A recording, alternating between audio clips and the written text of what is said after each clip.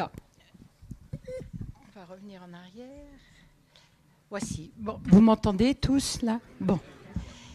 Alors effectivement, effectivement, j'ai fait des études d'histoire de l'art et puis après le gros de ma carrière s'est passé euh, dans d'autres domaines, notamment dans le textile, qui est un domaine quand même qui qui est très lyonnais aussi. Euh, mais au début, pendant mes études, j'ai été euh, donc c'est Monsieur Ternois qui était Daniel Ternois qui était notre le directeur de l'Institut d'histoire de l'art à l'époque et qui était le grand spécialiste d'Ingres, qui m'a demandé dans le cadre d'un mémoire de maîtrise de d'étudier un potentiel, enfin bon, quelqu'un qu'on disait élève d'Ingres, mais surtout euh, ami de, de, des élèves d'Ingres. Euh, d'étudier donc Florentin Servant, qui, dont personne ne connaissait euh, vraiment euh, sa vie. avant, il m'avait bien, bien, sûr demandé si je faisais partie de sa famille, ce qui était le cas. Donc je me suis lancée dans cette aventure avec beaucoup de passion. Et après, je me suis mis à travailler. Et finalement, j'ai terminé ce travail il n'y a pas si longtemps que ça, en, en éditant un livre euh, pour ceux qui s'intéressaient à lui. Bon, j'avais vraiment accumulé un certain nombre d'informations, donc il fallait quand même que tout ça ne soit pas perdu. Donc je, je vous remercie d'être ici pour, euh, pour euh, écouter la vie et l'œuvre de Florentin Serban.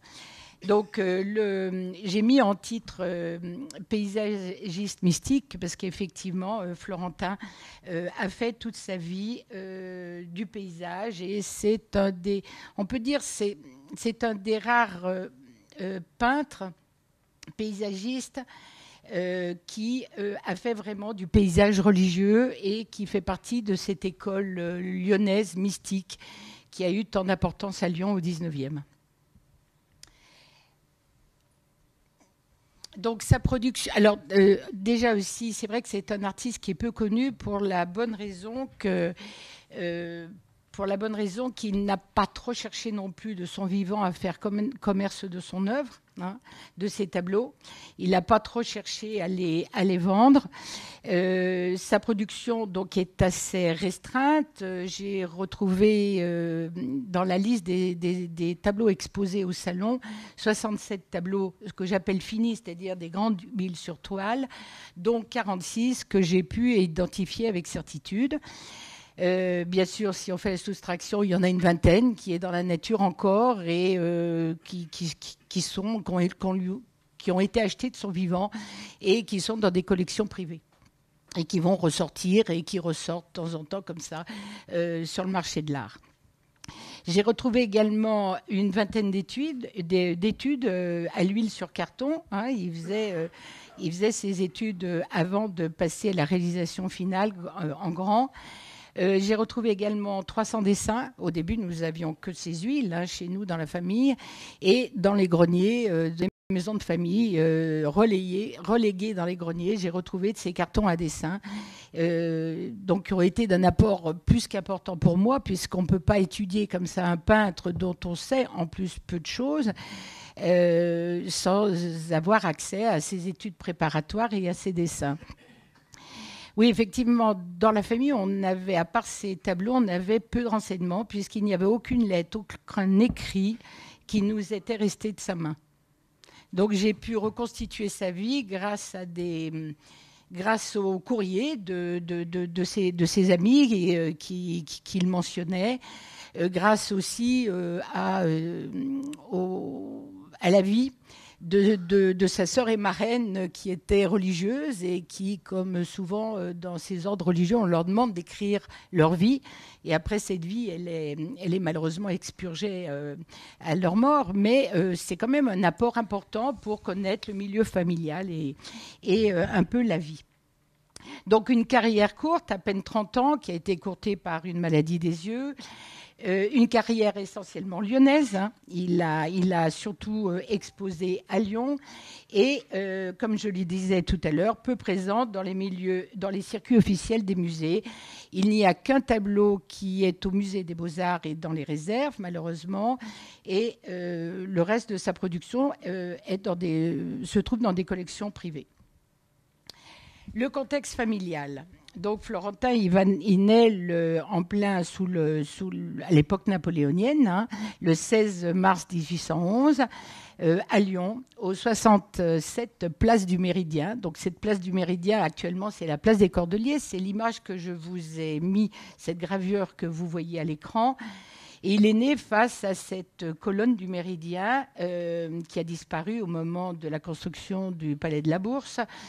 Euh, face à cette colonne du Méridien qui avait, euh, qui avait fait construire pendant son mandat son grand-père, Claude Servant, qui était échevin de Lyon entre, de 1764 à 1765, et dont le portrait, par miracle, est toujours visible au Palais de la Bourse, dans la salle des portraits.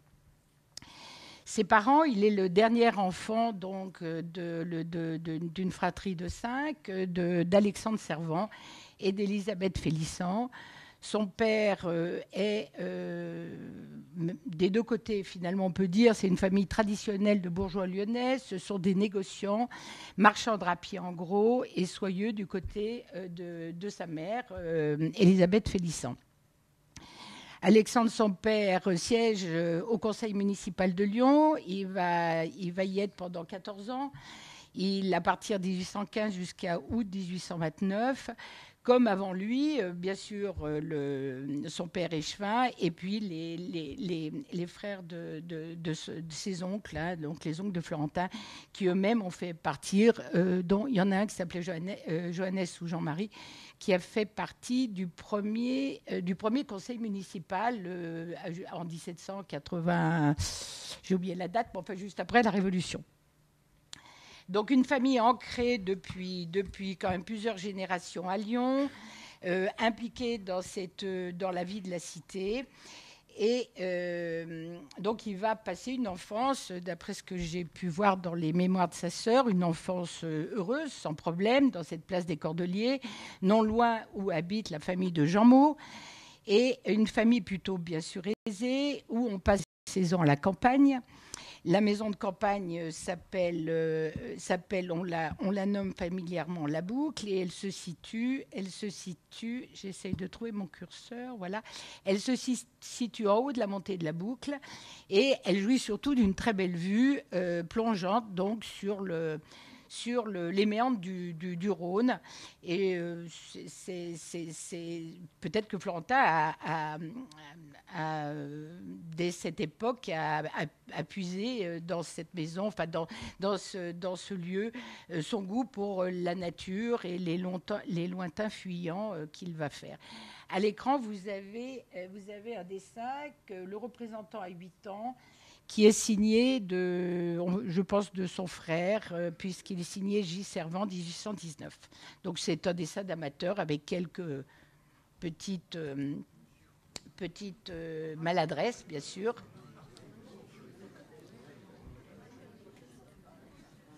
Sa formation. Alors, euh, il, euh, il, va passer. Alors, il a été, bien sûr, il a reçu une éducation très soignée. On sait qu'il est très religieuse aussi. On sait qu'il a été mis au, petit séminaire de Meximieux. Sa mère nous dit qu'il était moins cher que, celui de Saint-Irénée. Et euh, oui, on connaît ces petits détails. Alors, ces petits détails, ils sont très importants et j'ai pu les, les puiser dans un livre, le livre de correspondance euh, de son père, euh, puisqu'il n'y avait pas de photocopieuse, bien sûr, à l'époque. Donc, il notait tous les courriers qui, partaient, de l'entreprise.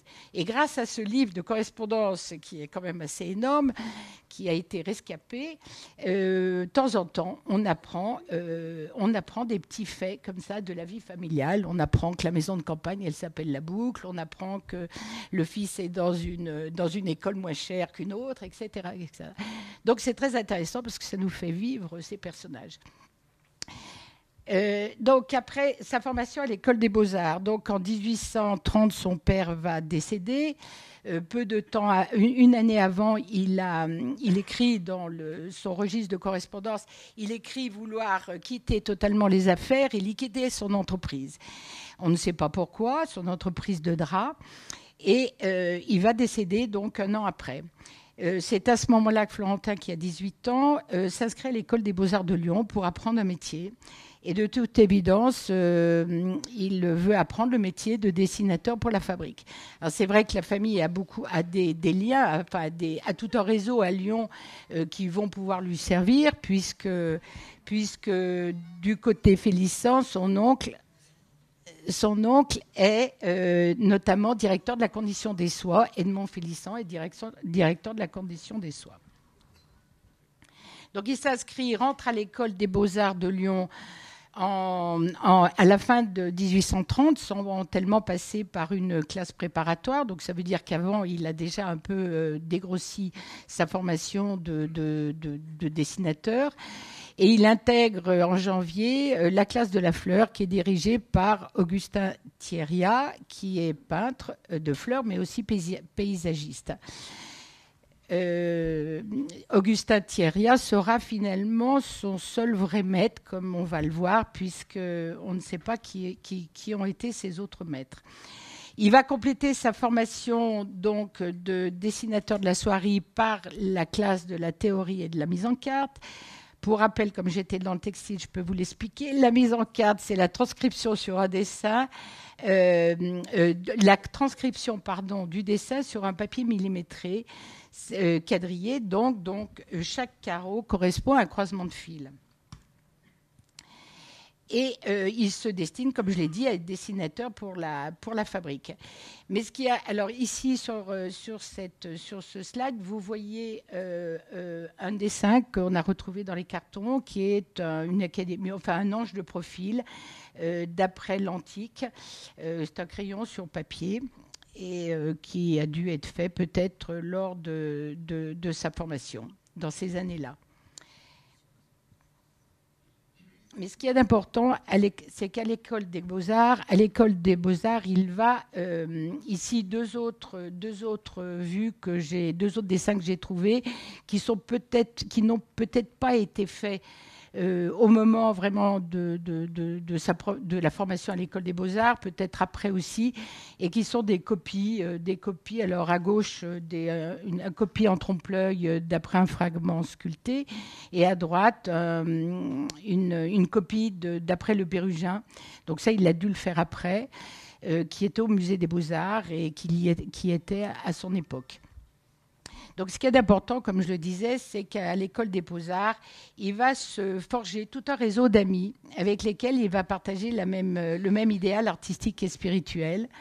Et ces amis euh, sont euh, ceux qu'on appellera les peintres de l'âme après, euh, Michel Dumas, Claudius Lavergne, Jean-Baptiste Freinet, Clément Lacluria et Louis Jean Donc il est, tout à fait probable que Louis Jean Maud, ils le connaissent, ils le connaissent déjà les parents, Jean et les parents, les parents de Jean Maud et les parents de Florentin devaient se connaître, euh, sûrement. Euh, c'est ce que nous dit notamment Elisabeth Ardois-Fugier, qui est la grande spécialiste de Jean Maud. Donc, à l'école des beaux-arts, il va, y être en même temps que tous ces peintres, qui sont les futurs élèves d'Ingres. Hein, et qui, euh, qui vont tous pratiquer de la peinture religieuse. Alors, ils ne sont pas dans la classe de la fleur, comme lui, mais ils sont dans la classe de la peinture et de la figure. Mais ça, c'est important puisque ça va être déterminant par la suite dans son choix de, pour, pour, pour, pour choisir donc de, du paysage, de faire du paysage mystique, si on peut dire. Alors maintenant, on va parler de ces années d'apprentissage entre 1833 et 1837. Euh, il se passe il y a cinq ans, là, et durant ces cinq ans, on ne sait pas bien ce qu'il a fait. Il est probable qu'il euh, a dû rester à Lyon. Il a été, euh, il, a été comme, comment peut-on dire, il a été, je vais dire retoqué, c'est pas très français ça. Il, il a été refusé exactement euh, pour faire son service militaire. Enfin bon, je pense qu'il en était ravi. Et, euh, et euh, sur les papiers de la circonscription militaire, il est écrit comme, comme métier dessinateur. C'est ce qu'il a mis. Euh, mais euh, à la fin de ses cinq ans, il est, prêt pour, euh, pour se lancer dans une carrière officielle de peintre. Donc pendant ces cinq ans, il n'a pas seulement été dessinateur pour la fabrique, il a continué son apprentissage et notamment, il y a eu toutes ces découvertes du budget, de cette région du budget, et une orientation qui est importante aussi et qui est son engagement religieux et qui va décider de sa carrière. Donc, élève de qui Effectivement, ces biographes le disent, enfin, ces biographes nécrologues. Il y a un personnage très lyonnais, enfin, euh, Claire Tisseur, que vous connaissez tous, qui est un architecte qui est euh, journaliste, qui était journaliste, euh, qui est écrivain, qui était surtout euh, très connu comme avec son par son pseudonyme qui est Nisier de Puy-Plus, qui a écrit le Littré de la Grande Côte, et, et Claire Tisseur connaissait bien Florentin Servant et a écrit une très belle, un très bel, un très bel article nécrologique sur lui au moment de sa mort et qui m'a beaucoup servi pour écrire sa vie finalement. Et euh, Claire Tisseur euh, ne mentionne pas ses maîtres, euh, dit qu'il a été, comme on le trouve sur les catalogues, élève de la nature, d'Augustin de, Thierry et de la nature avec un grand N. Mais il est certain qu'il il, il y en a d'autres qui disent qu'il était élève ou apprécié d'Ingres et de Victor Orcel. Donc, Victor, euh, Ingres, évidemment, il, a, il, a, dû le rencontrer, mais euh, ce, qui est sûr, c'est qu'il n'a pas suivi toute cette équipe de Lyonnais à Paris. Après euh, leurs études aux Beaux-Arts, les Jean les Fresnel et l'Arbergne, tous ces jeunes peintres sont partis à Paris et sont allés étudier dans l'atelier d'Ingres et euh, souvent dans l'atelier aussi d'Orcel, qui était en train de réaliser les fresques de Notre-Dame de, Lorette à Paris. Donc, euh, je n'ai trouvé aucun renseignement sur, sur son passage dans un atelier, soit lyonnais, soit parisien. Euh, et aucune carte d'élève le concernant aux archives du Louvre. Mais par l'intermédiaire de, ces, jeunes Lyonnais qui sont à Paris et avec lesquels il est resté en contact, euh, il a dû approcher, bien sûr, euh, approcher Ingres, Ingres qui avait comme élève les frères Flandrin et donc, euh, Hippolyte et Paul euh, étaient très, euh, vont être très proches de Florentin Servant. Et l'aîné, Auguste, qui va mourir très jeune en 1842, avait un atelier à, Lyon et qui était un peu le relais de la doctrine d'Ingres sur Lyon. Donc, il est évident qu'il a eu accès aux, grandes idées d'Ingres par l'intermédiaire de, ces peintres. Quant à Orcel, Orcel, bien sûr, c'est son oncle. Donc Orcel, il rentre de Rome en 1831. Donc il a pendant pendant juste avant oui pendant qu'il était aux Beaux Arts donc il a dû le, rencontrer cet oncle euh, et euh, on trouve quand même des similitudes au niveau euh, au niveau pensée chez ces deux peintres, pas au niveau du style, hein, mais au, au, niveau de la pensée, puisque Ingres est un artiste très très chrétien. Euh, euh, pas pardon, euh, Orcel est un artiste très, très, très impliqué et donc très chrétien. Très, oui, il va défendre le catholicisme, comme Florentin le fera par la suite. Et, il, a dû, comme le dit aussi Elisabeth Ardun-Fugier, il a dû rencontrer cet oncle qu'il a vu à Paris. Ça, c'est évident, même si je ne peux pas vous donner exactement la source d'où vient cette information, mais c'est une évidence.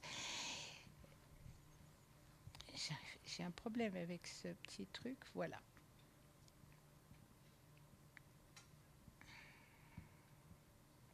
Donc, ce qui est sûr aussi, c'est que euh, lui-même, Florentin Savant, va se réclamer de deux peintres religieux euh, qui, qui dans, le catalogue du Salon de Paris de 1850, 1850 c'est l'année de la mort d'Orcel. Donc il y a peut-être un lien, mais il va inscrire comme maître, euh, euh, comme maître Orcel, Victor Orcel et Louis Jean Donc Louis Jean c'est son copain, euh, qui va faire de la peinture religieuse. Et Victor Orcel, bien sûr, il est connu à l'époque et euh, il, est, très, il a un côté très. Enfin, il va faire de la peinture religieuse. Mais ce que je voulais dire aussi, c'est qu'avec Orcel, ils ont, ils ont une, manière de traduire leur pensée religieuse différemment dans leur, dans leur toile. Orcel a un côté très moralisateur comme on, le sait avec des tableaux comme Le bien et le mal, qui est déjà à l'époque très connu. Hein. Quand il revient, il fait ce tableau quand il revient de Rome et tout de suite, c'est, il a c'est un tableau qui a du succès. Euh, quant à Servant, lui, quand il, euh, il va faire un tableau religieux, il va être plus dans la contemplation, il va être plus dans le ressenti.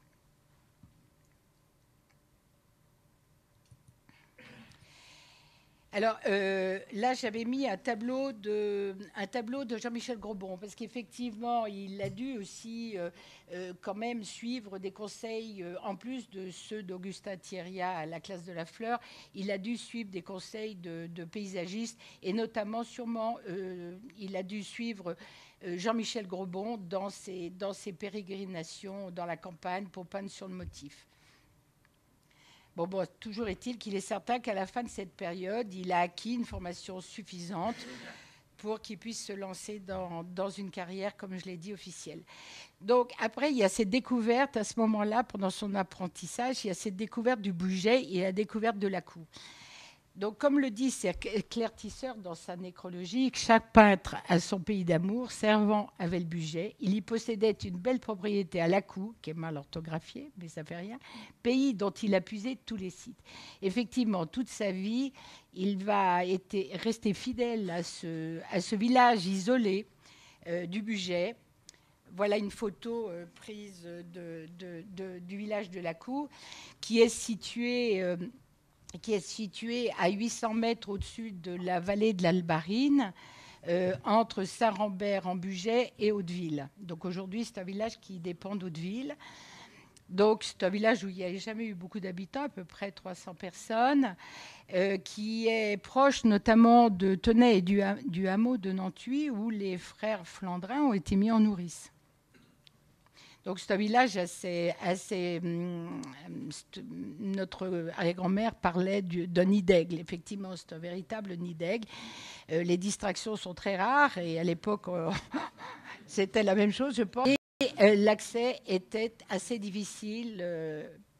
donc sur cette photo, on aperçoit l'église de la Cour et on aperçoit une grande maison à toit pentu, qui est la maison qu'il va acheter, qui va être sa maison. Donc c'est en 1834 que sa mère euh, va euh, louer euh, cette grosse bâtisse à toit pentu qu'on appelle dans le pays le château et qui a effectivement une petite tourelle de côté. Et elle loue ce château à une famille lyonnaise qui s'appelle la famille Richard, qui s'était, ça c'est vraiment des lyonnaiseries, mais qui s'était réfugiée dans le budget de peur, vers, autour de 1830, de peur que revienne la Grande Révolution. Voilà. C'est ce qui est écrit dans les, dans les, papiers euh, de famille, de la famille Richard. Donc cette, euh, cette, grosse bâtisse est située à une vue magnifique, comme vous avez pu le voir tout à l'heure. Elle est entourée d'un clos de 13 hectares, donc c'est une grande prairie qui descend en pente douce et euh, bordée de ce rocher qui s'appelle le Grand Sangle. Et ce paysage sera très, très fréquemment peint par Florentin. Donc il est, très vite enthousiasmé par ce site euh, et euh, va, euh, avec son frère Alphée, acheter cette propriété à l'âge de 29 ans en 1840 à la famille Richard. Et en 46, il rachète la part de son frère et il devient en 48 maire du village et il le restera pendant 20 ans. Il passera dans ce village plusieurs mois par an et à la belle saison. Ici, voici des petites études, euh, des petites études qu'il a fait, des études euh, et qui, me permettent de, parler, aussi de sa manière de peindre. Parce qu'à la coup, si la coup lui a plu, c'est qu'il a trouvé tous les éléments pour euh, construire ses paysages. Florentin a fait du paysage classique, du paysage historique. Il n'a jamais, il a pas fait ce qu'on appelle des vues de. Une vue de, c'est comme une photo, c'est un souvenir d'un paysage, quelque part, souvent aussi.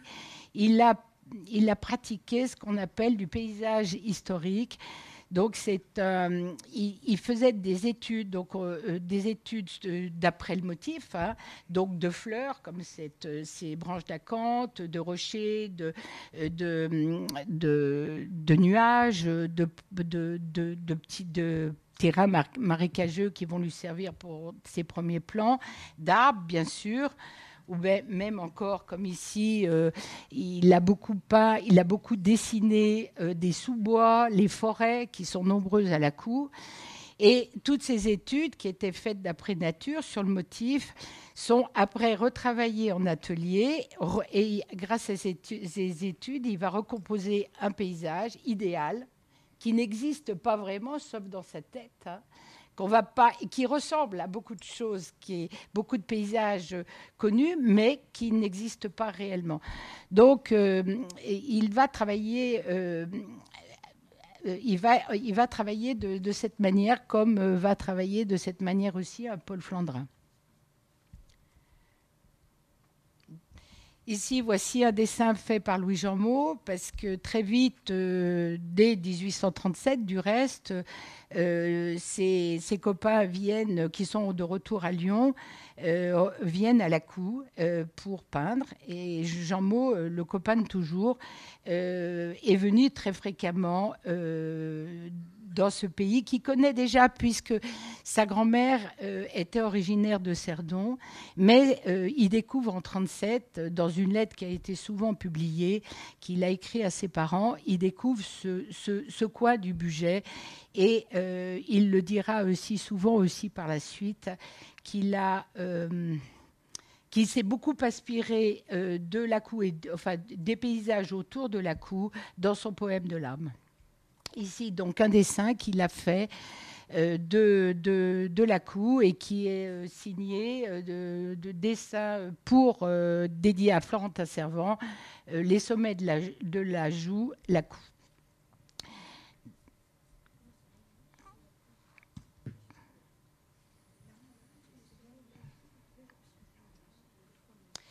Ici, donc, il y a un autre peintre qui est fréquemment venu très souvent et souvent en même temps que, Jean Maud, euh, qui est Paul Flandrin. Donc Paul Flandrin, c'est le troisième de la fratrie. Hein. Il y avait Auguste, euh, Hippolyte, connu pour ses, fresques, ses peintures religieuses, surtout dans les églises, et Paul. Paul est né, est contemporain de Florentin Servant, il est né la même année, en 1811, et tous les deux, ils vont partager le même goût, euh, la, même, la même philosophie euh, pour faire du paysage. Ils vont faire du paysage classique. Et euh, ils vont, oui, ils vont, ils vont avoir les mêmes, les mêmes, oui, la même philosophie dans, sa, dans la représentation de la nature finalement.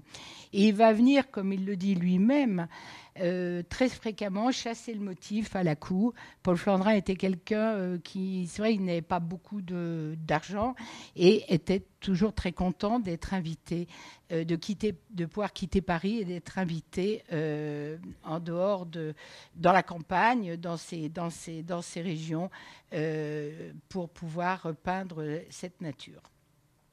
Donc il y a son retour d'Italie et puis il va y être très fréquemment jusqu'à son mariage, jusque dans les années 50-55.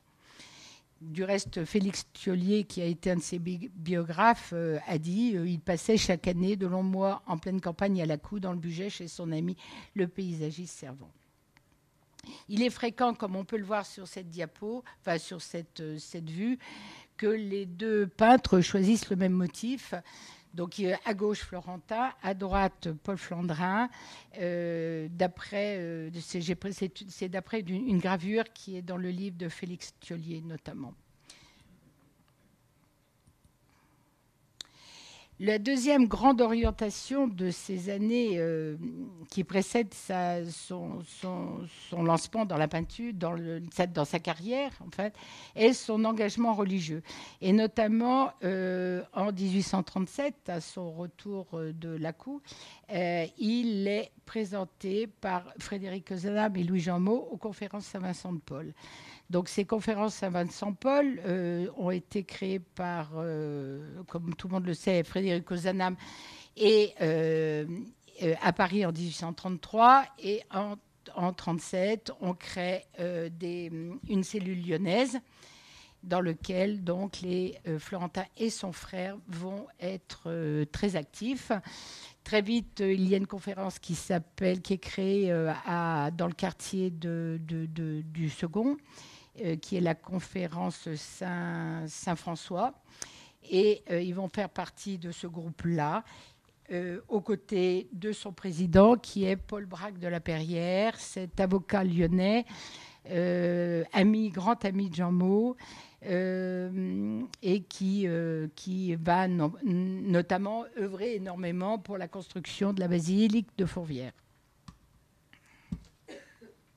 Donc il s'engage, euh, il s'engage donc dans ces conférences à Masson-de-Paul aux côtés de, de, peintres, aux côtés de Jean Maud, mais aussi aux côtés de Freinet, aux côtés de un peu plus tard du sculpteur Fabiche.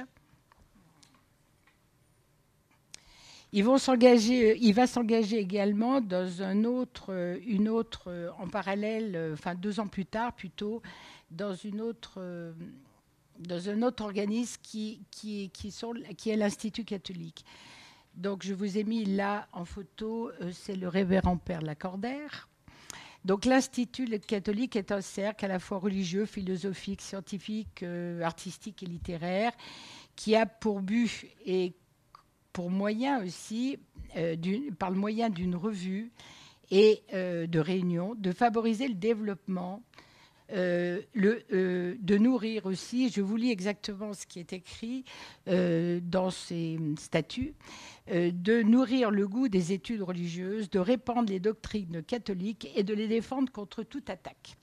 Donc la, revue fut fondée en 1839 euh, par le père Lacordaire, que vous avez ici en photo, le dominicain qui a restauré l'ordre dominicain euh, à cette époque, dans ces années 40 et, euh, qui, prêche à l'époque, euh, qui fait des prêches qui sont très appréciées à Notre-Dame et qui va venir en faire euh, certains discours qui, ont, marqué beaucoup les esprits un peu plus tard à Lyon.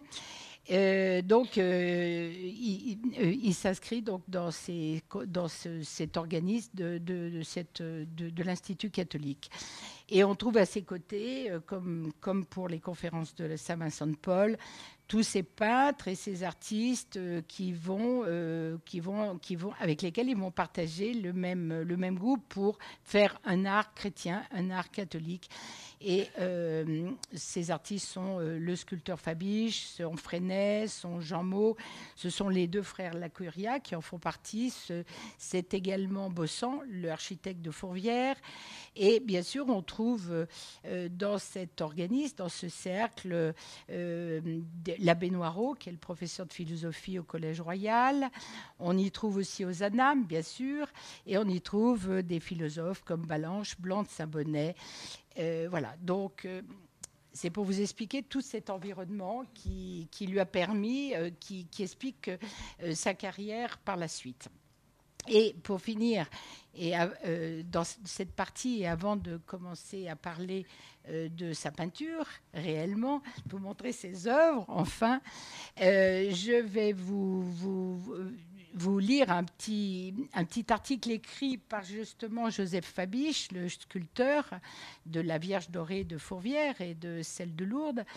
Euh, qui euh, s'est fait journaliste euh, occasionnellement dans la première revue de l'Institut catholique et qui parle, qui écrit un article sur le but de l'art et qui, qui écrit qu'il invite tous les artistes, dont les paysagistes, à concourir au grand œuvre de la régénération sociale par la prédication catholique. Et il dit que la chair soit placée dans le temple, dans les palais des rois, dans les musées de nos villes, dans les galeries des puissants ou dans le simple salon de famille, qu'importe, pourvu que le but soit le même, vous, paysagistes, faites aimer le Créateur par l'imitation de ses plus belles œuvres. Voilà, donc c'est important quand même de lire ça. Et euh, l'artiste euh, doit être un relais, doit être celui qui va euh, faire passer ce message auprès de. Il va avoir un, rôle de prédicateur et on va, on peut appeler ces artistes des, des, des, des, apôtres, des artistes apôtres. Ils ont exactement cette, cette vocation. Alors, les débuts officiels dans la peinture euh, de Florentin Servant. Ici, vous avez un petit autoportrait qu'il a réalisé. C'est le premier autoportrait qu'on connaisse de lui, euh, et où il s'est peint dans, un paysage avec un fond du budget. Bien qu'il soit paysagiste, les premières œuvres qu'il expose euh, sont des œuvres comme celle que je vous montre, qui représente Saint Antoine ensevelissant le corps de sa Paul, première ermite, exposée en 1839-40, enfin 40 plus exactement. Euh, donc, à ses débuts, euh, il est vraiment marqué par cette peinture religieuse et par, par, par ce côté mystique euh, et il va, euh, il va hésiter. On, a, on, a, vraiment le sentiment, et ça le critique de l'époque le souligne, il va vraiment hésiter entre la, pâture de, de, figure ou celle de paysage. Hein. Il va hésiter entre ces deux choses. Et c'est ce qu'on voit avec ce Saint-Antoine qui nous paraît un peu raide, euh, assez sinistre aujourd'hui, il faut bien le reconnaître, qui est un très grand tableau qui a été refusé euh, par le salon, euh, mais euh, ce même salon de 1839 ou 40, je ne me rappelle plus, a refusé également des œuvres qui sont aujourd'hui au musée Saint-Pierre, et notamment cette œuvre de Jean Maud qui date de 1840 et qui est le Christ au Jardin des Oliviers. Donc voilà ce que font ces, amis à la même époque. Vous voyez, c'est dans la même veine. ils portent, bon, ils, et euh, euh, ce, Christ au Jardin des Oliviers fut également, donc, comme je l'ai dit, ainsi que des œuvres de Freinet, euh, comme cette autre, cette œuvre qui est ici, qui est le Songe de Jacob, qui a été fait par Jean-Baptiste Freinet, où on voit Jacob en, en, bas du tableau, qui est en train de rêver à ce, paradis terrestre, euh, qu'il qui, voit sous la forme d'un escalier avec des anges. Donc voici, la peinture de l'époque que pratiquent euh, tous ces jeunes peintres euh, qui sont très enthousiastes et qui désirent rénover un peu la peinture grâce à la religion catholique. Ici, un autre tableau qui s'appelle Le Bon Pasteur. Euh, bon, ce tableau, on ne le connaît pas, il n'a pas été localisé. Par contre, j'ai retrouvé l'étude, euh, une petite étude qui représente la scène principale, euh, donc qui représente le Christ en bon pasteur qui est incliné sur la brebis retrouvée. Donc, pourquoi est-ce que je vous présente ce dessin? Parce que c'est avec ce tableau du bon pasteur que euh, Florentin va participer à cette exposition euh, particulière qu'organise euh, Jean Maud, Jean Maud, pas Flandrin, Jean-Baptiste Freinet, dans leurs ateliers qui sont situés à l'époque à l'angle de la rue de la Reine, c'est-à-dire de la rue Franklin et de la, rue Victor Hugo. Les deux peintres ont chacun un atelier et ils décident de faire une exposition euh, de, leur, peinture. Ils invitent à cette exposition euh, Auguste Flandrin, qui va présenter son tableau de San Miniato, qui est aujourd'hui au Musée des Beaux-Arts de Lyon également, euh, aux côtés du Christ au Jardin des Oliviers de, Jean Maud. Et ils vont inviter aussi Florentin qui va exposer une seule œuvre qui est Ce bon pasteur. Donc c'est grâce à cette exposition que ces jeunes artistes se font remarquer de la critique à Lyon et se positionnent vraiment en tant que défenseurs de l'art chrétien. Voici une étude. Vous voyez que donc dès, ses débuts, c'est un très bon dessinateur et euh, il a un métier euh, assez sûr même très sûr. Donc ici, c'est une, étude pour le visage, la tête du, Christ du bon pasteur. Une autre œuvre que nous n'avons pas localisée, mais qui est connue uniquement par ce dessin, qui est le sacrifice de Noé. C'est encore un paysage religieux qu'il a fait à cette époque, vraiment dans les années 39-40. Et euh, ce, tableau est décrit par Auguste Flandrin à une lettre à son frère Hippolyte. Et euh, il dit que le thème en est le sacrifice et l'action de grâce de Noé sur le sommet du mont Arara, au, sorti, au sortir de l'arche. Et il précise que euh, Florentin a prévu, a prévu cette scène euh, du sommet du Planacha, qui est une montagne de la cour. Et euh, il rajoute, c'est du grandiose, les glaciers, un immense Père éternel qu'on ne voit pas dans le dessin, mais j'ai un autre dessin où on le voit, qui, qui, arrive du ciel. Euh, et, il rajoute ce sera vraiment très beau, euh, écrit-il. Donc c'est une œuvre ambitieuse dans laquelle donc il s'inspire d'un autre peintre religieux. Euh, d'Hippolyte Flandrin, cette fois, il va s'inspirer de, d'Hippolyte Flandrin. Et ici, vous pouvez voir une œuvre d'Hippolyte qui est encore, dont l'étude est au Musée des Beaux-Arts de Lyon, qui est Jésus-Christ et les petits-enfants. Et on retrouve euh, dans le personnage de cette femme agenouillée et drapée, qui fait un peu penser à Giotto, on retrouve exactement la même posture et à peu près le même dessin dans ce dessin de Florentin qui euh, figurait euh, dans, son, tableau que vous pouvez voir là sur le dessin. Donc, euh, à ses débuts, il pratique vraiment une peinture religieuse qui est très influencée euh, par tous ces peintres lyonnais religieux euh, qui ont fait leur classe avec Orcel et Ingres. Ici, un dessin d'une femme, qui est, ça doit être un dessin en rapport avec ce, tableau du sacrifice de Noé. Un autre tableau de cette époque qui est beaucoup plus achevé, euh, qui, euh, qui est cette fois euh, est connu et bien localisé, c'est qui représente Saint Augustin. Il date aussi de 1840. et vous voyez que déjà dans ce, dans ce paysage, là on arrive à vraiment un paysage religieux où il arrive à équilibrer la figure avec le paysage. Et euh, le thème est en, rapport aussi avec l'Institut euh, catholique, puisque Saint Augustin est le saint patron euh, de l'Institut catholique. Donc il place son, son, personnage dans un paysage idéalisé, avec toutes ces... Vous voyez, au premier plan, il y a énormément de fleurs euh, donc, c'est un des rares témoignages que nous avons de son, passage dans la, classe de la fleur au musée des Beaux-Arts, puisqu'il y a très peu de dessins euh, représentant et pas du tout d'huile, de, tableaux achevés représentant des fleurs. C'est dans des tableaux comme celui-ci, euh, et c'est une tradition tout à fait lyonnaise de peindre des fleurs de cette manière-là. Euh, donc maintenant, il est, lancé dans la peinture. Euh, euh, et donc, ça entre 1843 et 1850, ça, ce sont des années heureuses pour lui. C'est l'année de son mariage. C'est l'année aussi de la découverte de l'Italie et des premiers succès.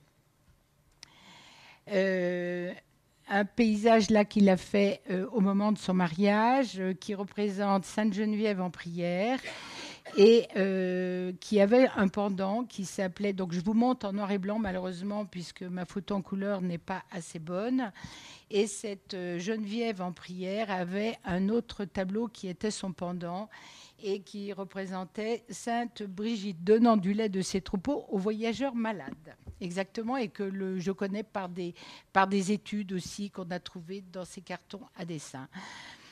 Euh, ces deux tableaux, euh, dans ces deux tableaux, il prend comme modèle sa future femme. Enfin, là, en l'occurrence, quand il a fait les tableaux, il, va se marier l'année d'après, donc sa fiancée, euh, qui, que vous voyez représentée dans ce dessin préparatoire à droite du tableau, et qui, donc, qui est, qui est, Sainte Brigitte, une étude pour Sainte Brigitte et euh, qui s'est euh, félicité sa femme qui va servir de modèle pour ce, pour ce tableau. Ici des études des études qui se rapportent à, cette, à, ce, à Sainte-Geneviève-en-Prière. Donc je vous montre ces études pour vous montrer généralement, à chaque tableau, il fait énormément d'études préparatoires. Donc, il y a souvent une étude de paysage, hein, comme vous voyez en bas à gauche.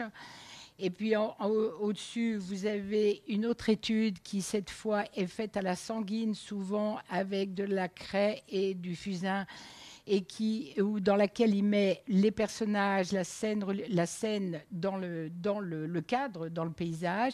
Et à côté, bien sûr, il travaille énormément ces personnages puisqu'il n'a pas eu euh, une formation dans la classe de la figure. Il a appris un peu sur le tas.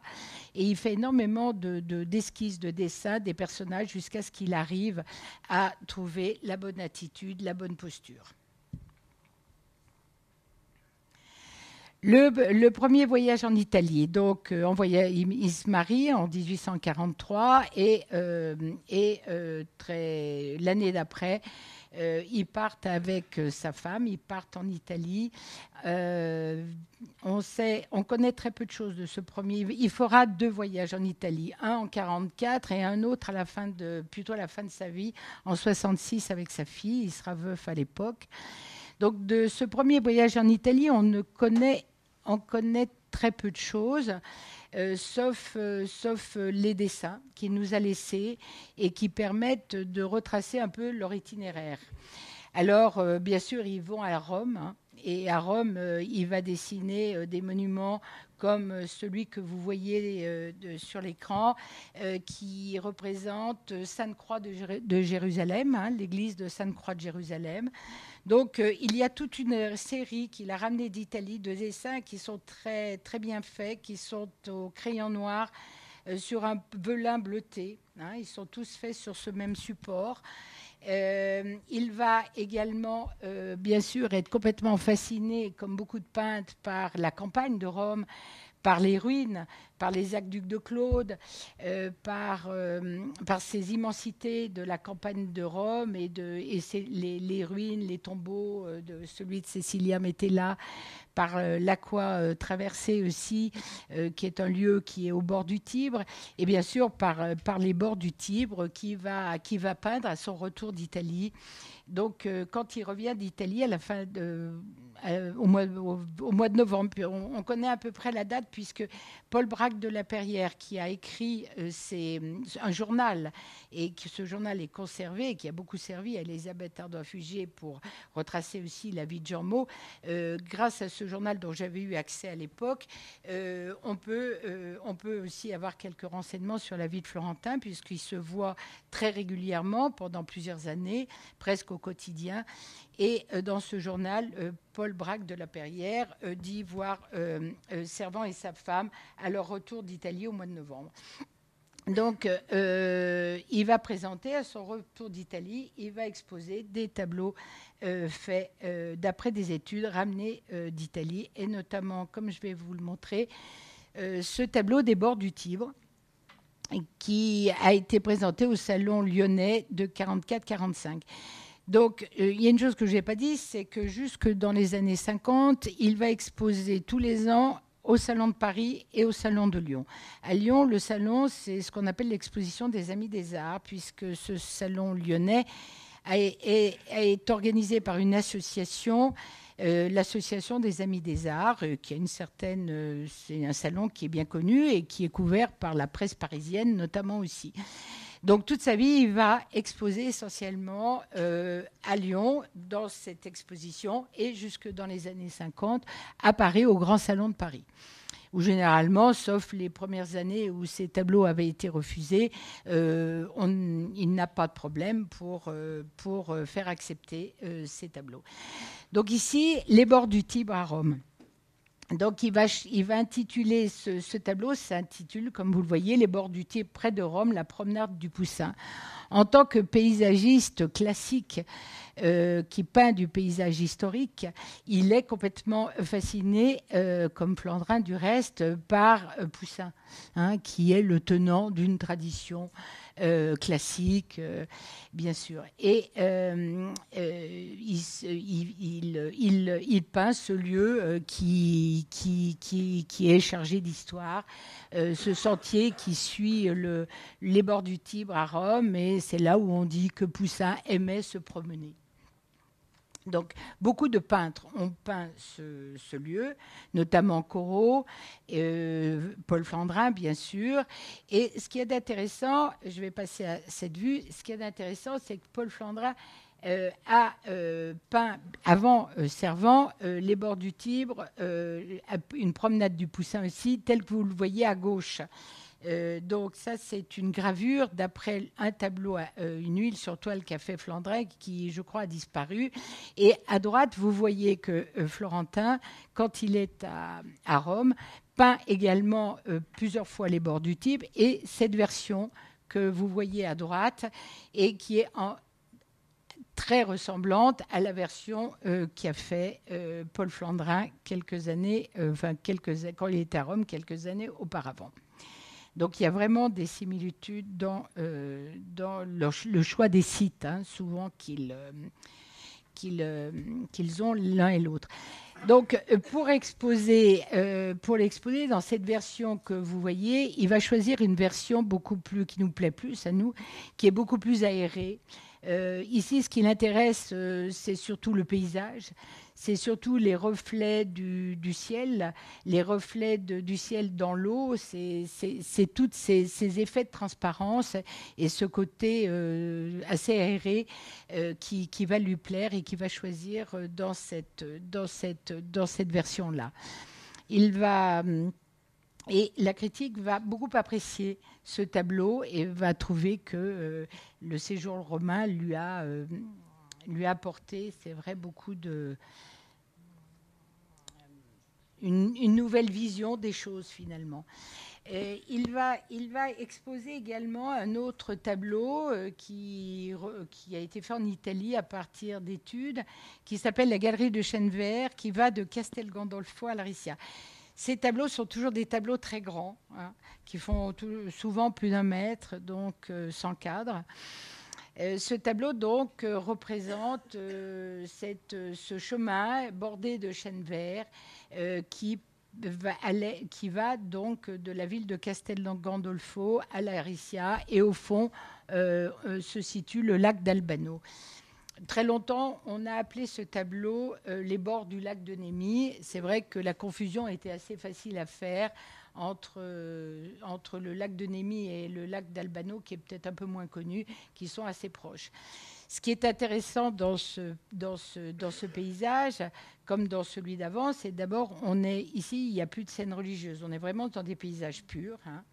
Donc ici, il y a quelques petits personnages, bien sûr, des petits moignons sur le, sur le chemin, une italienne. Mais ce qui, la principale, le sujet du tableau, ce sont avant tout les chênes verts. Ce sont avant tout ces grands arbres qu'il a, qu'il a peints et dont vous voyez euh, un dessin, euh, toujours dans ce papier, euh, ce velin bleuté et au crayon noir, qu'il a ramené de cette série. qui fait partie de cette série qu'il a ramené d'Italie en 1944 un dernier paysage qu'il expose à son retour de Rome, euh, d'Italie, et qu'il avait exposé quand même bien plus tard. Cette fois, il ne l'expose pas en 44-45, il l'expose en 49. Et il représente donc la campagne de Rome et le thème, ce sont les premiers euh, chrétiens qui enterrent un, martyr euh, dans une catacombe, dans les catacombes. Donc chaque fois, quand il expose un tableau qui a un thème religieux comme ça, il met toujours des notices très précises euh, qui viennent euh, euh, parler du sujet. Donc ici, ce qui est intéressant, ce qui l'a intéressé, c'est de représenter, bien sûr, en plus de ces scènes religieuses, bien sûr, euh, de représenter cette campagne de Rome. Euh, et la composition est très intéressante puisque c'est un grand Z, hein, comme vous pouvez voir, qui,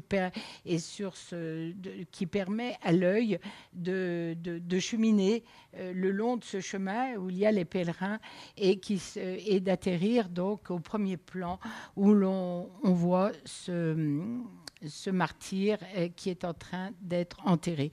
je, je vous montre aussi deux autres dessins qui se rapportent à ce, tableau, et notamment le paysage qui était au-dessus de la grotte, euh, qui a été fait sur le motif euh, là-bas dans la campagne de Rome, et euh, une petite esquisse que j'aime beaucoup, moi personnellement, qui représente les attitudes de, des personnages qui sont dans la grotte et qu'on voit que c'est vrai assez mal puisque la plupart de ces tableaux souverains n'ont jamais, n'ont pas encore été vraiment euh, restaurés ni nettoyés.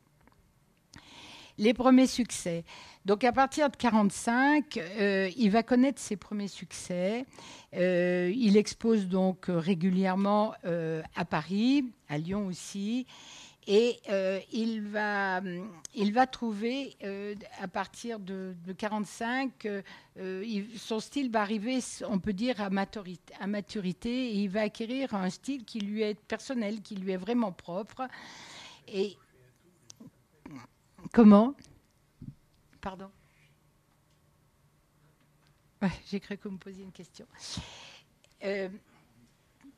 donc il va acquérir un style qui lui est, assez, personnel là, et il arrive à maturité, et il va faire des grands paysages religieux, euh, et pour lesquels, notamment pour un qui s'appelle L'arrivée de Jacob au pays de Laban, qui a disparu, il va euh, être récompensé au salon, il va euh, obtenir une, une médaille au salon de Paris. Donc ce, tableau de Jacob, on ne le connaît pas, il, n'est pas localisé, mais par contre, on a retrouvé ce, cet autre tableau qui lui ressemble beaucoup, qui est dans la même veine, qui s'appelle Saint Bernard, visité dans sa, sa retraite par Saint Malachy, primat d'Irlande, qui a été exécuté en 1846. Donc c'est une composition, euh, voyez, assez classique. Ce qui, représente le paysage est inspiré bien sûr du budget. Du reste, euh, je vous une, un dessin qui représente le paysage. Euh, au premier plan, une, prairie émaillée de, petites fleurs avec euh, Saint Bernard qui devant un crucifix. Un peu plus loin, deux, personnages qui sont complètement inspirés d'un tableau de Raphaël qui, est, qui est au Vatican. et et et dans le fond, donc, ce, cet arrière-pan de montagne du budget. Ah voilà, il est où mon truc? J'ai perdu mon petit truc, ça fait rien. Bon. Ici, deux, dessins qui se rapportent à ce, tableau, le dessin du, paysage et un dessin de montagne. Un autre tableau euh, religieux donc, qui date de ces années, qui, s'appelle David Berger. Donc, euh, le, thème est David qui joue de la harpe à l'ombre de, grands arbres, d'une forêt qui est traversée d'un ruisseau. Ici encore, la composition est toujours très bien choisie, euh, avec ce, on s'enfonce donc par ce chemin qui, euh, serpente à l'intérieur de cette forêt. Et euh, c'est tout juste si l'on peut voir euh, David qui est relégué un peu à l'arrière-plan et qui est à l'ombre de ces grands arbres et qui est en train de jouer de la harpe. Bon, ici vraiment, la nature, elle va prendre le pas sur la scène et euh, cette impression est encore accentuée par la lumière qui, éclaire surtout le fond et, qui laisse David donc dans l'ombre. Et pour un pays, euh, bien sûr, euh, à cette époque, Paul Braque de la Perrière écrit de très beaux articles dans la presse, notamment dans la Gazette, euh, de Lyon, et où il vante bien sûr l'impature de, de, de Servan. À droite, une très belle étude qui se rapporte au paysage de, ce tableau et euh, qui, est faite notamment avec, euh, avec de l'encre. Ce tableau a été exceptionnellement exposé à Marseille. il exposera très peu en dehors de Lyon et Paris. Il, il va exposer un peu à Marseille ce tableau et aussi également à Montpellier. Donc dans, dans, ces, dans, ces, années, vous voyez, ces paysages euh, sont, ils représentent des, des, des, arbres très, très élancés. Ce qui l'intéresse, c'est de, c'est de, de, de, représenter, c'est de construire. Il, il, il, observe énormément le, la, nature et, les arbres et, il, il, sait construire l'arbre comme euh, quelqu'un a dit derrière son feuillage. Il, il, il le construit. Euh, donc ici plusieurs, euh, plusieurs, euh, plusieurs dessins. Euh, à gauche, vous avez Élie dans le désert, donc un thème d'un ermite qui se repose à l'intérieur d'une forêt et au bord d'un lac, d'un étang. À gauche, c'est l'étude qui lui a servi à arranger, à recomposer ce paysage. On retrouve ces grands arbres là, dans les deux. Et à droite, un autre paysage qui est un autre, dessin qui, est dans la même veine. Autour des années 50, il va, il va faire quelques portraits. Euh, il va s'essayer à ce genre euh, avec pas mal de succès, mais ça sera éphémère. Il va en faire trois. Ça sera le portrait de sa, fille, Jeanne, que vous voyez ici. il va faire son autoportrait. Il va faire également le portrait d'un ecclésiastique que nous avons, que nous connaissons pas, que nous n'avons pas retrouvé. Donc ici, vous avez le portrait de sa fille euh, aînée qui a 5 ans quand il, euh, quand, à, l'époque du portrait et qui est, euh, voilà, c'est un, portrait qui est, qui est, fait à l'huile sur un panneau de bois et qui est tout à, fait, tout à, fait dans la tradition d'Ingres, avec un trait, une continuité de la ligne qui est dans cette, dans cette ligne, dans cette, dans cette mouvance d'Ingres au fond, donc il y a les, les, collines du budget toujours. Donc c'est un portrait de plein air. Et ce qui, est intéressant dans ce, portrait, c'est la douceur du paysage derrière euh, qui répond à euh, la figure de, la petite fille euh, qui, est, très dessinée. Voici son autoportrait, qui est un autoportrait très grand, assez majestueux par ses dimensions et par son style aussi. Euh, ça, sera son dernier envoi au Salon de Paris.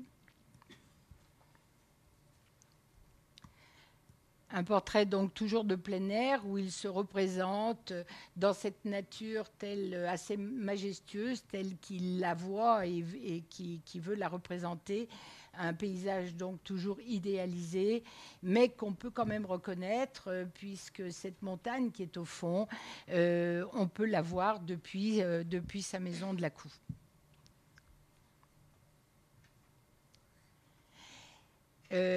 cette, un an après son autoportrait, ici, lors de ce, portrait, il a, il a 40 ans à peu près, et en 51, sa femme va décéder.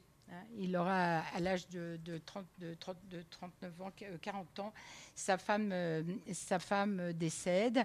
Elle va décéder, euh, comme beaucoup de femmes à l'époque, des suites d'un accouchement de sa dernière fille, Amélie.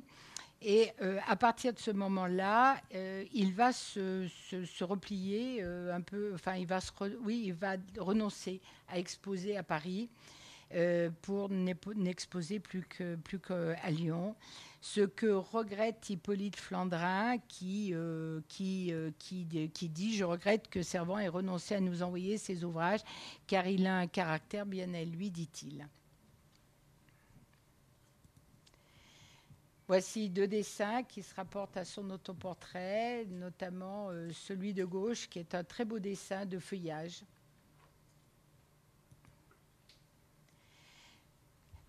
Dans la dernière, euh, donc dans cette décennie de 50 à 60, il, euh, donc il se replie sur Lyon et le budget. Euh, il, il, va acheter un, immeuble à Lyon qui, à l'époque, c'était rue Martin. Aujourd'hui, cette rue s'appelle rue Biselon. dans cet immeuble, il va y installer son atelier. Cet atelier, j'en parle parce que c'est l'atelier que va occuper, euh, qu'a occupé le peintre Truffamus jusqu'à ses derniers jours. Là, il va l'acheter dans les années 70, mais il l'occupera aussi bien avant, puisque Truffamus l'a eu cet atelier lui-même de Morillon, qui lui-même l'avait eu d'un autre peintre. Et euh, a toujours parlé avec beaucoup d'émotion de cet atelier dans lequel s'est succédé depuis euh, Florentin Serval qui a dû faire construire, puisqu'il était vraiment, un, atelier, bon, on a vu souvent des, des, reproductions, un euh, véritable atelier d'artiste avec exposé au nord, avec euh, une grande verrière, avec un ciel ouvert, avec son vélum. Et euh, Truffamus avait toujours beaucoup d'émotions quand il parlait de, cet atelier et se souvenait euh, de tous ces artistes qui, étaient, qui s'étaient succédés ici. Et il, vous parlait même de, du, plancher où il y avait encore des taches de peinture, etc., qui avaient été faites par d'autres peintres. Voici une aparté là-dessus. Donc, euh, de cet immeuble, il va regrouper un peu aussi sa famille dans cet immeuble, puisqu'il va réserver euh, une partie des appartements pour euh, ses frères, sa mère et, et lui-même il continue à, passer euh, dans cette période de veuvage, il continue à passer son... parce qu'il va se retrouver veuf avec quatre enfants en bas âge, euh, et il va passer donc, euh, il passe l'été à la cour, tout l'été à la cour, il s'occupe donc de ses obligations de mère. Le baron Ravra, qui a écrit des, livres sur un peu touristique, et notamment les vallées du budget, ne manque pas de signer euh, lors de son passage dans le budget et notamment à la cour, euh, il parle du village qui est assez sale et, mais euh, fait, quelques lignes, dit quelques lignes sur Florentin et qui, qui est le maire du village et qui, s'occupe beaucoup de l'église, etc. Donc il y a un beau passage sur lui dans ce livre du baron Ravra. En 58, donc, à, la cour, il va mettre aussi le village sur la protection de la Vierge, faisant ériger une grande statue euh, en haut du village, dominant le village plutôt. Et, euh, et, côté pâture, il va faire de moins en moins de paysages religieux euh, pour, ce, pour, pour faire des paysages. Ces paysages, il, il les nomme plus du reste. Ça s'appelle, il, il, il, expose paysages et euh, le salon euh, leur donne un numéro, bien sûr, pour les distinguer, comme tous les, œuvres présentées au salon. Donc, c'est le paysage 505, 607, etc. Euh, il, ne se, plus, de, plus nom à ces paysages, donc. Et les sujets religieux, il en fera de moins en moins. et quand il en fera, ce seront des ermites comme Sainte-Madeleine, comme Saint-Jérôme ou Sainte-Marie l'Égyptienne. Pour lui, donc, euh, ces paysages sont toujours mystiques, comme on va le voir, euh, mais il n'a plus besoin du prétexte d'un sujet religieux pour représenter la nature euh, comme l'œuvre du Créateur. Cette nature idéalisée qu'il veut représenter dans toute sa beauté, dans toute sa splendeur. Euh, les personnages religieux, donc, comme on l'a dit, disparaissent. Ils sont remplacés par des scènes plutôt euh, pastorales, euh, des personnages à l'antique, drapés, de, drapés à l'antique. Et comme vous allez le voir, voilà, donc à gauche, vous avez un, c'est, un, de ces, un, de ces tableaux qui s'appelle le Clos de la Cour, qui date de 51. Donc c'est une vue qu'on connaît, tout à l'heure je vous ai parlé du rocher du Grand Sambre qui est devant sa maison, on le reconnaît ici sur ce tableau, mais en même temps c'est euh, une vue qui n'existe pas, réellement là-bas à la cour. Donc euh, euh, c'est un paysage complètement recomposé, un paysage d'après des études. On j'ai retrouvé le dessin des, arbres qui forment une voûte et qui servent donc, qui encadre cet arrière-plan. Et comme vous, pouvez le voir euh, au premier plan, il y a un personnage, une femme, euh, qui est vêtue d'une toge rouge et euh, qui contemple de, en méditant ce paysage.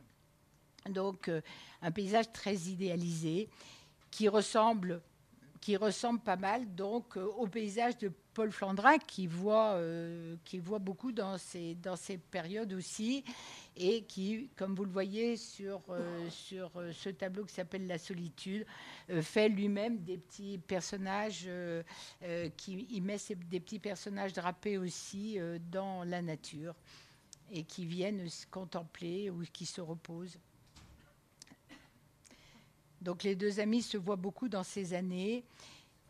Et la critique euh, euh, fait, de, euh, de, longs articles sur cette peinture qu'elle apprécie énormément.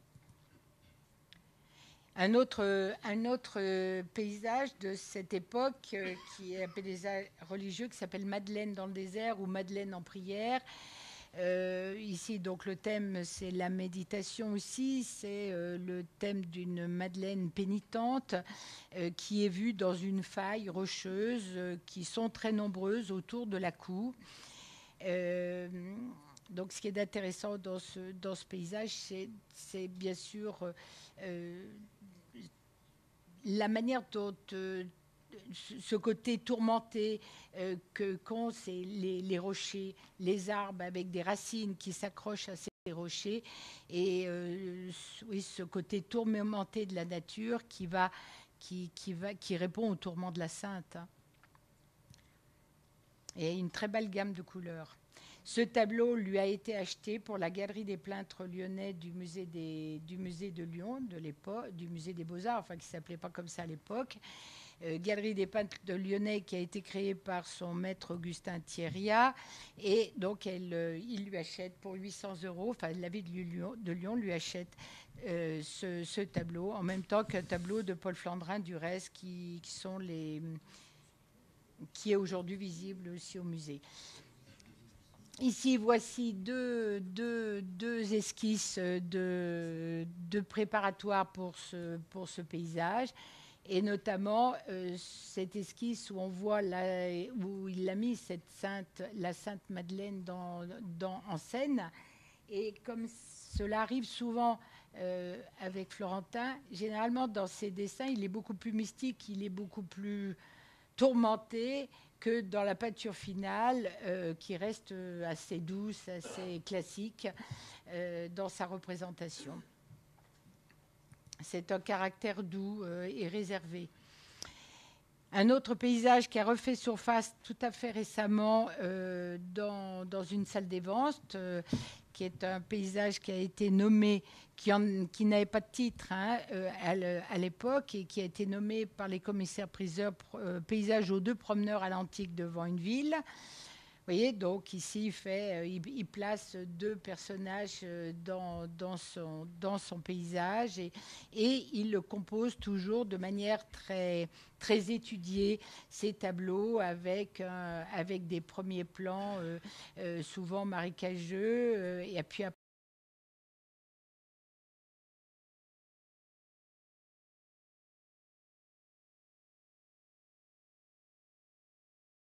vers euh, des lointains et vers une ville ici. Ici, il commence à s'intéresser aux effets de lumière et, euh, aux, effets de la lumière à travers les arbres. Deux études, dont une étude, petite étude à l'huile qui se rapporte euh, au, paysage que je viens de vous montrer. Un autre paysage qui n'a pas de nom et euh, qui n'est pas daté non plus, comme la, plupart de ses œuvres. On retrouve à peu près cette même composition, mais on retrouve aussi cette, cette volonté de vouloir faire, euh, euh, de vouloir représenter la nature dans toute sa splendeur, dans toute sa grandeur. Une étude au fusain euh, dans ces années, il va, euh, et ça c'est fréquent aussi, c'est valable pour, euh, pour, pour une grande partie des artistes de cette époque, il va beaucoup plus utiliser dans ses dessins le fusain, qui est plus nerveux aussi, par rapport au crayon et à la mine de plomb. Donc il s'intéresse de plus en plus à des effets de lumière. Ici un grand paysage, vous voyez, qui, qui monte un, premier plan marécageux et un rideau d'arbres euh, qui est éclairé par un soleil couchant.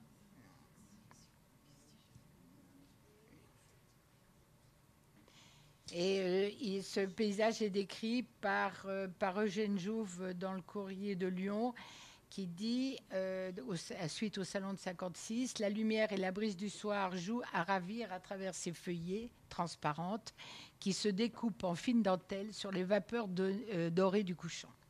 Voilà, je cite quelques, quelques articles parce que c'est un langage du, du, 19e qui est, qui est quand même très, très intéressant. Deux autres paysages. Celui de gauche euh, n'est pas, pas achevé. Hein. Tout le premier plan à la couche pictorale est très fine. Et à droite, un autre paysage euh, avec une composition qui nous fait plonger comme ça dans ce, dans cette, cette, ce petit étang euh, dans les reflets. Les reflets nous amènent, notre regard est, est, amené derrière, le, derrière et vers ce, grand arbre qui est le sujet principal. Des dessins qu'il fait à cette époque. D'autres dessins ici, j'ai fait une planche qui montre ses enfants notamment. Enfin, la dernière période, 60-67, que j'ai appelée la période mélancolique, euh, cette période, c'est peut-être celle qui nous touche le plus, car euh, c'est durant cette période que sa vision de la nature devient plus familière, si l'on peut dire, où sa touche euh, est peut-être plus, est plus floue aussi. Et c'est à cette époque que Paul Mans, qui est un journaliste de la Gazette des Beaux-Arts à Paris, il utilise les, les les beaux mots pour décrire cette période. Il dit sa manière paraît être un compromis entre le principe du paysage qu'on appelait naguère historique et le système plus humain ou du moins plus familier mis à l'honneur par l'école nouvelle. Quand il parle d'école nouvelle, bien sûr, on parle des réalistes, on parle de Barbizon qui, euh, qui commence, tous ces peintres Barbizon et cette peinture plus réaliste commencent vraiment à devenir très à la mode à l'époque. Donc euh, ceux qui pratiquent le paysage euh, comme lui et comme Paul Flandrin commencent à être relégués euh, hein, comme un peu comme, ils sont considérés comme des comme des comme comme pas à la mode quoi ils sont démodés voilà. Donc on sait qu'à cette époque du reste avec Jean Maud ils, ont des contacts. Il a des contacts avec Auguste Ravier et avec qui, à, à Morestel est euh, peint beaucoup avec les peintres de Barbizon. Notamment, il reçoit Morestel Corot, il reçoit, euh, il reçoit d'autres peintres français, tout ça, d'autres peintres qui, qui, on les appelle les, les, peintres de Barbizon, et notamment, bon, des, des peintres lyonnais comme Hector Allemand aussi va peindre avec Ravier. Et on sait que en 59, Jean Maud et Servant se rendent, vont peindre avec Ravier euh, à, euh, à, à, Morestel. Donc, dans cette dernière période, il va chercher à rendre surtout la mélancolie profonde qu'il ressent. Il va, il va représenter une, nature euh, comme figée dans un instant et qui va choisir de préférence souvent, mais il le faisait déjà avant, euh, le soir et euh, à l'automne aussi, souvent, euh, quand la lumière n'est pas trop vive. Ces années 60, pour lui, bon, si ce sont une, période mélancolique dans sa peinture, elle l'est aussi dans sa vie puisque, bon, autour de lui, bien sûr, sa mère décède à un âge canonique pour l'époque 93 ans quand même. Euh, son, Jean Maud, ses, amis partent. Jean Maud est parti euh, s'installer à Paris. Euh, dans la région parisienne. Euh, ses frères, les frères de Florentin, euh, décèdent également. donc on sent un caractère un peu sombre. on sent sa sœur lui écrit juste avant sa mort, mort, celle qui est religieuse, lui, lui écrit une lettre et elle écrit Je te voudrais plus heureux encore, écrit-elle. Donc on sent vraiment, c'est un homme qui n'a jamais été très très, très, très bout en train, c'est sûr. C'est plutôt un timide, un réservé. Euh, mais euh, dans ces années, il devient de plus en plus mélancolique, on peut le dire. Ici, voici euh, un tableau de cette époque, ce paysage. Donc, on ne voit plus de, personnages bibliques drapés à l'antique dans ces paysages de la fin mais des femmes qui sont comme celles que vous voyez là, qui sont habillées, euh, qui sont habillées avec les, costumes de l'époque et en jupe et en corsage et qui déambulent, euh, euh, qui sont des silhouettes qui déambulent comme ça au milieu de, ces paysages toujours pris dans le budget. Mais désormais, ils s'intéressent plus à des, lieux comme les hauts plateaux bordés de rochers, comme on peut en voir au-dessus de la cour.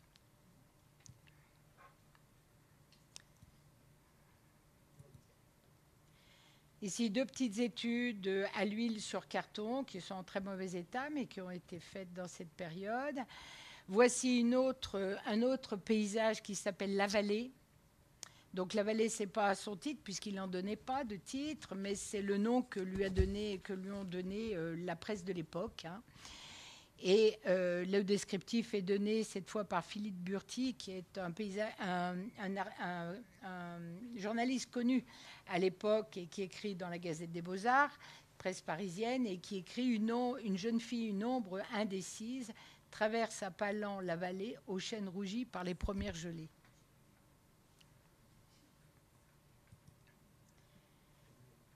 Un autre paysage, là, qui est plus. où on retrouve son côté un peu plus idéalisé, ce sont toujours, même si ces paysages sont plus naturalistes, ils sont toujours euh, faits de la même manière, ils sont toujours recomposés en, en, atelier, hein, à partir des études faites, faites sur le terrain. Et la critique continue à apprécier ces. Parce qu'il a eu. Il a, toute sa vie, il a été très, très, très au niveau de la critique lyonnaise qui a beaucoup commenté ses œuvres. Mais euh, dans ces années, elle commence à se lasser et elle trouve que ses œuvres, ainsi que celles de Paul Flandrin, euh, sont toujours un peu pareilles et elle, il voudrait qu'il il voudrait qu'il soit un peu plus naturaliste. Et c'est vrai que à ce, quand il, dans, en 65, quand il expose ce, tableau, euh, les naturalistes comme Hector Allemand, Adolphe Appian ou bien euh, sont euh, qualifiés de meilleurs paysagistes du salon. Et c'est eux qui ont désormais la vedette. Et je vais terminer euh, ce catalogue, entre guillemets, de, de ses œuvres euh, à l'huile par ce paysage euh, qui a été fait un petit peu avant, mais néanmoins dans ces années 60. On a l'impression de revenir en arrière par rapport à ce que je vous ai montré. Mais si je l'ai choisi à ce moment-là, c'est que c'est le paysage que Florentin lui-même a choisi pour être représenté au salon, au musée de Lyon. Tout à l'heure, vous avez vu le tableau de Sainte Madeleine, hein, qui était dans sa grotte, dans son fossé, là, dans sa grotte, oui. Et cette Madeleine lui avait été achetée donc pour la Galerie des Peintres Lyonnais.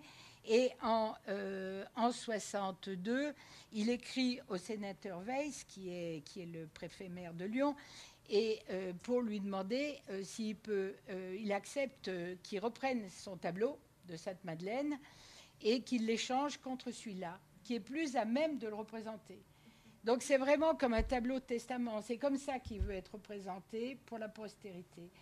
Il, veut, il, veut, euh, il veut être représenté avec ce côté dit comme idéaliste de la nature, en idéalisateur de la nature, je ne sais pas comment dire. Donc il, écrit Ce tableau est plus important et est ce que je crois d'un mérite supérieur, écrit-il au sénateur Weiss. Et euh, quant à moi, je serais, et l'échange que je vous propose serait donc plus avantageux pour la ville, c'est évident, puisque le tableau est beaucoup plus grand. Quant à moi, je serais bien aise d'être représenté par une œuvre plus capitale euh, dans le musée de Lyon. Donc un tableau totalement, un paysage totalement imaginaire, où il revendique son goût pour une nature euh, idéalisée. Euh, c'est un très très grand format qui est malheureusement pas visible aujourd'hui car dans les réserves du musée des beaux-arts de Lyon. Euh, donc il représente ici, vous voyez, un sous-bois idyllique.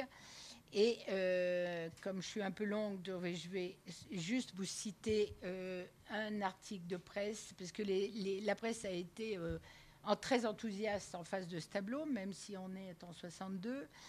Euh, il y en a un, et, Eugène Jouve qui dit un des plus beaux qui soit sorti de son atelier. Euh, un autre nous dit Monsieur Servant a donc exposé un paysage tel que les yeux de son âme le lui ont fait découvrir.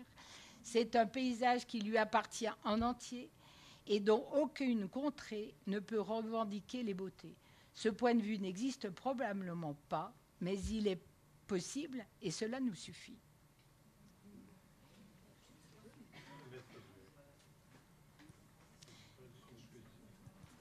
Oui, alors c'est pas vraiment, j'aurais dû m'arrêter là, mais c'est pas vraiment une conclusion. Je vais aller très vite pour la suite. Si j'ai encore cinq minutes, je ne sais pas, est-ce que je peux continuer? Deux minutes? Voilà.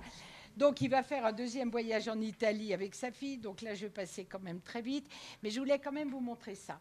Donc là, c'est le seul tableau vraiment religieux qu'il a exécuté dans sa, dans sa vie, puisqu'il est avant tout un paysagiste.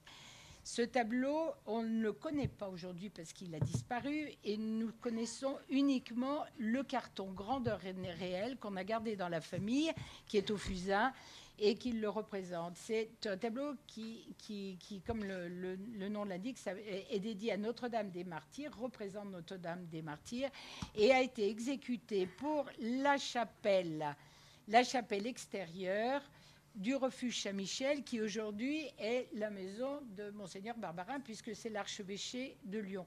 Hein. L'archevêché de Lyon, aujourd'hui à Saint-Irénée, est installé dans un ancien couvent qui était le refuge Saint-Michel. C'est là où était euh, la sœur, la sœur de Florentin. Et c'est pour ça qu'on trouve, on trouvait ce tableau ici, euh, dans, cette, euh, dans cette chapelle. Donc il l'a exécuté, on ne sait pas quelle année, mais probablement plutôt à la, dans les années 50, pour la chapelle extérieure, celle qui aujourd'hui est byzantine, dans laquelle on peut, on peut, on peut se rendre également. Et euh, dans le livre de Martin des Églises et chapelles de Lyon, on en, a, on en a une photo de cette chapelle comme elle était à l'époque, et on voit le tableau qui est au-dessus de la chapelle de la Vierge à droite.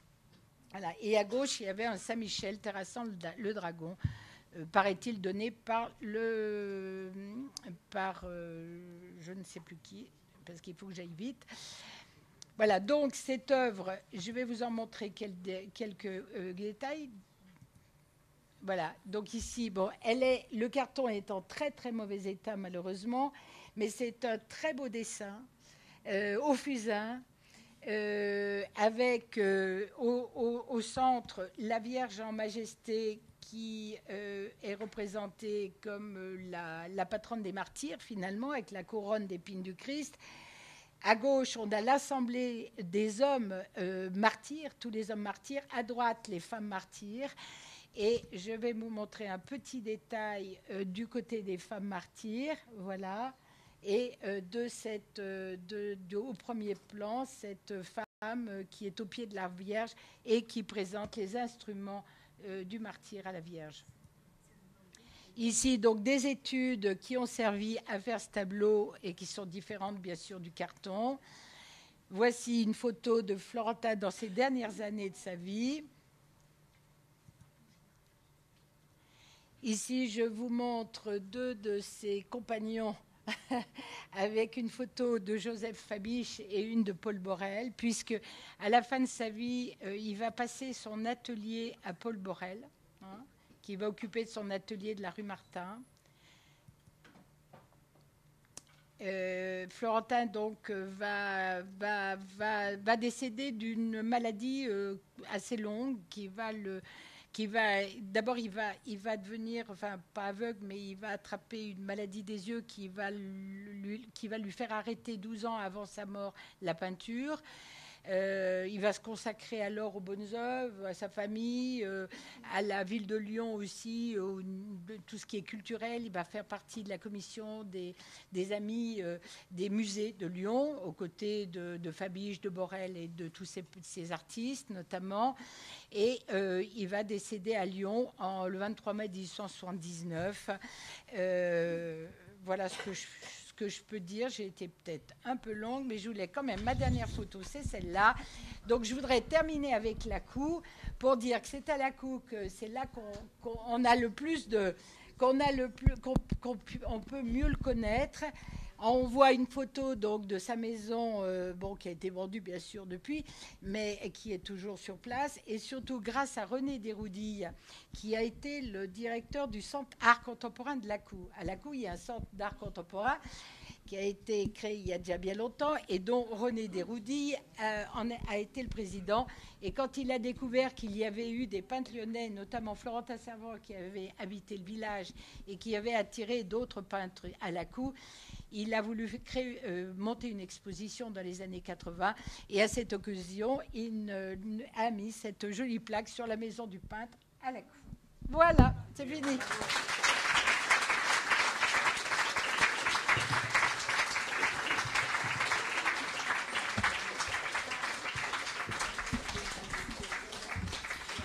Je vous remercie, madame, pour votre conférence très documentée.